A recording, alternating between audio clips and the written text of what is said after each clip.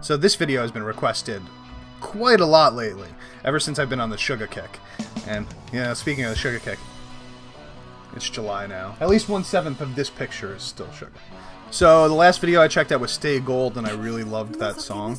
I think that it's not getting enough support, like in the community, honestly, for how well done it is. Some people in the comments, they were saying that like this song means a lot to them. So I'm guessing that there's some sort of emotional message to it that uh, that they can relate to. Now this is a lyric video that one of my friends gave to me. Thank you, Tina. It's supposed to have the most accurate lyrics. I'm ready for a little bit more Agust D.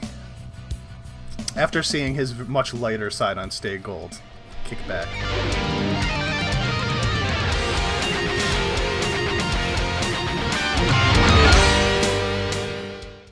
Agust D!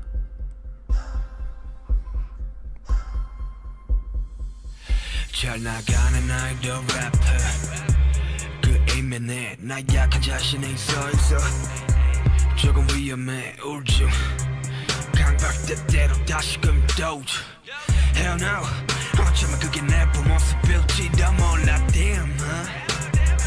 현실의 괴리감 이상가의 갈등 아픈 머리가 Okay. Uh, first and foremost, I'm just going to start this over again now because clearly the lyrics are what matters to this song. Um, just reading a couple of the lines, you could tell that this is something very important to him. So I'm going to go back from the beginning. I'm just going to start reading the lyrics right from the start. It seems like a message about depression so far.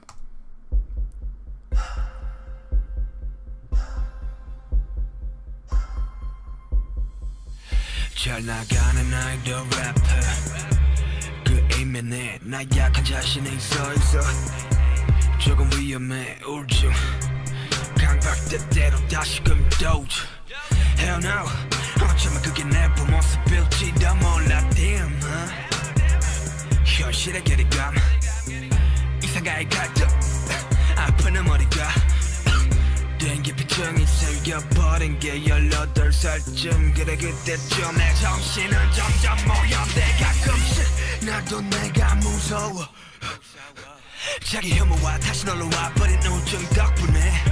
This is starting to feel more like a story at this point already. Just from the base standpoint, it seems like it's he's talking about almost the juxtaposition between his idol self and his actual self and possibly be having fears that the one version will take over for the other version or that one version won't be able to maintain with the other version um, that's just the impression that I'm getting so far, but but we'll see what it goes into. Let's take it back a little bit.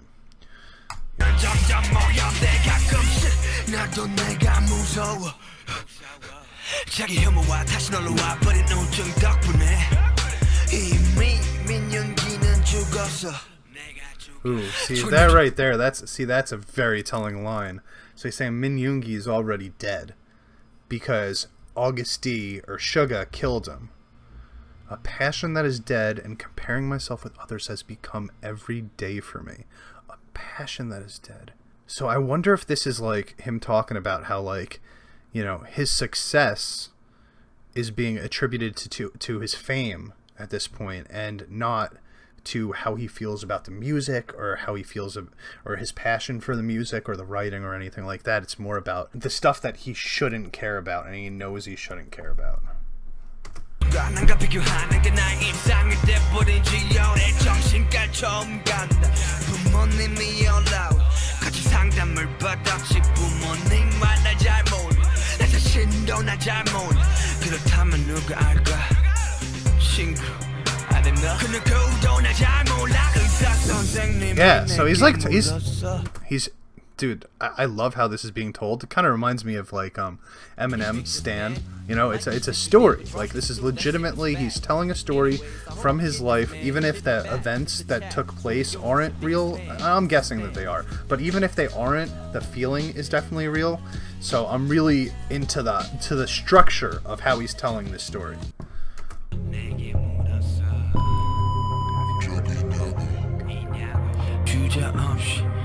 나는 말했어. 그런 적 있다고 어른처럼 하는 말. I don't give a shit I don't give a fuck 그딴 말들 전부 다날 간날 숨기려 하는 말. 지우고 끝에 그래 기억조차 나지 않는 너는 공연하는 날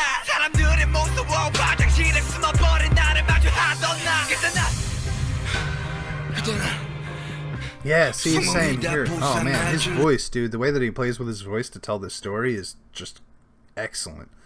Man, dude is so talented. I know I keep saying that in all my videos, but I really, I mean, I'm jealous. And also a little turned on. He's clearly an introvert uh, at his core, but he's having these serious thoughts and uh, committing suicide thoughts, like just depressive, the depressive nature of who he is inside. And he's thinking that if he succeeds at his passion, then that everything might change. But I'm guessing he's about to say that that's not true.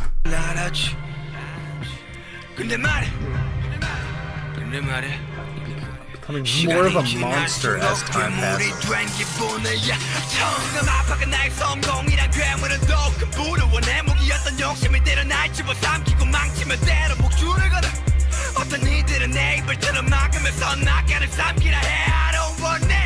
그들은 내가 이 동산에 써나가길 원하는 Shit shit 알겠으니까 제발 그만해 You know, everybody hates themselves sometimes, right? But I feel like he might hate himself a little bit more than most people, which is really sad. But it's also a quality of a very artistic, intelligent person. A lot of people that have very high IQs struggle with appreciating themselves or just people in general. And uh, I, I think that he probably felt that from a very young age. he's probably been waiting to tell this story. And I know this this dropped, you know, in 2016, I think, but he was probably waiting to tell this story from his own artistic expression style for years before he was able to.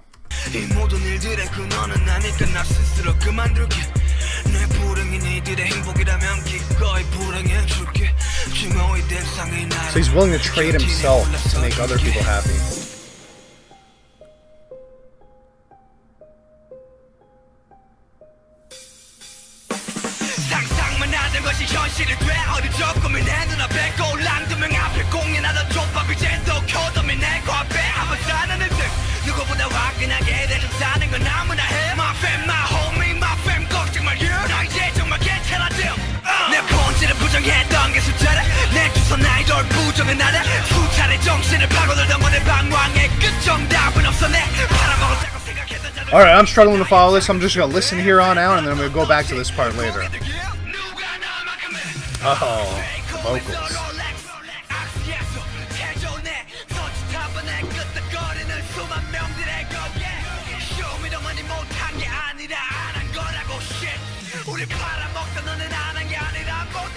Dude, his voice, like, just sounds perfect here.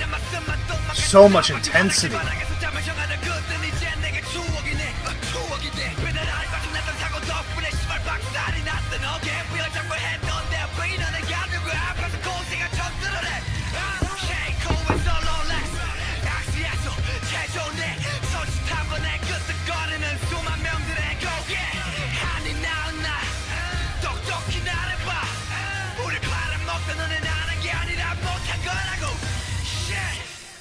Damn, dude. Yeah, so Fire Song, just uh, the concept alone was super impressive. Just everything about just the structure of it, the build of it, the construction of when certain things would fall out, certain sounds, you know, they would get rid of uh, just all sounds, maybe they just get rid of percussion in certain areas.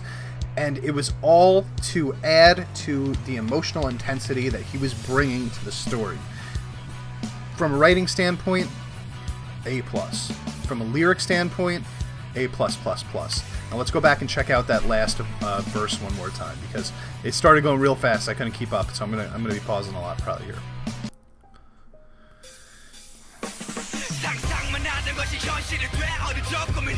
Okay. Still calls himself a little shit, man. YOLO.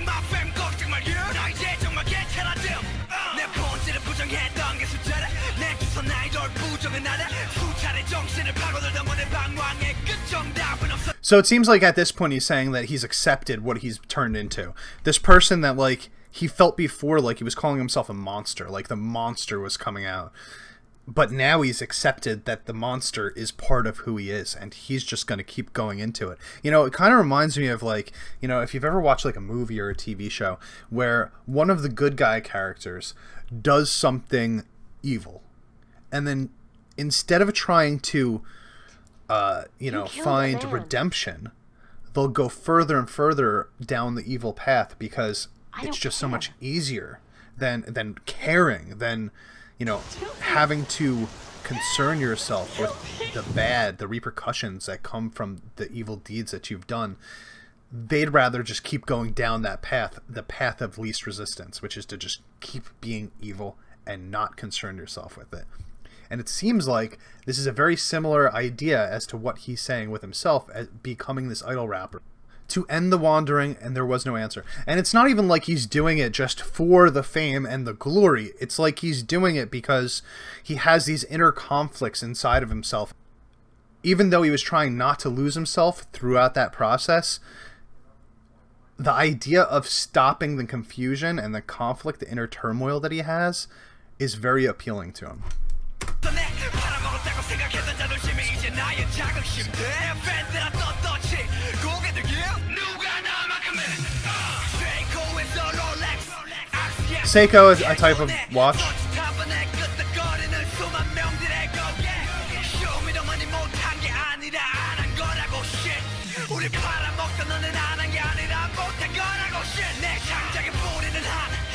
So now you're saying like the only reason that you didn't sell out is because you aren't good enough to.